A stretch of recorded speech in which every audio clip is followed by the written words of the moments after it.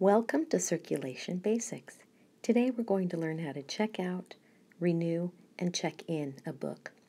The most important thing to remember is the navigation tool is on the left hand side of the screen. You always need to make sure that you're telling the computer what you're trying to do.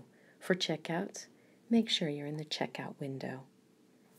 For renewal, make sure you're in the renewal window. For check in, remember to be in the check-in window.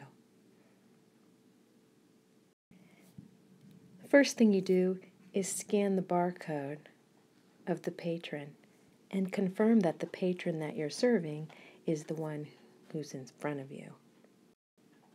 The next thing you do is scan the item's barcode.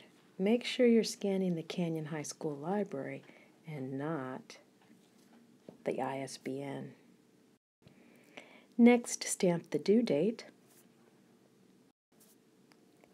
And then desensitize the book so that it doesn't cause the alarm to go off when the patron exits the building. Be sure to smile and make sure that they know when their book is due. To renew a book, click Renew and then scan the materials barcode. This will change the due date.